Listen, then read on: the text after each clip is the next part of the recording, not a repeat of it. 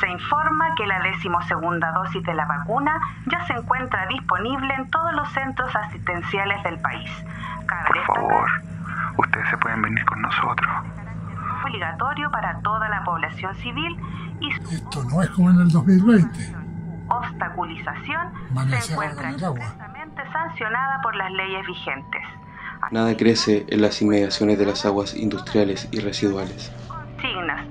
Manifestaciones de connotación terrorista No salgan, no se asomen a la ventana. tales como Chile se despertó, liberen a los presos políticos, restituyan el agua, entre otros. Te queremos mucho a ti y a la mamá.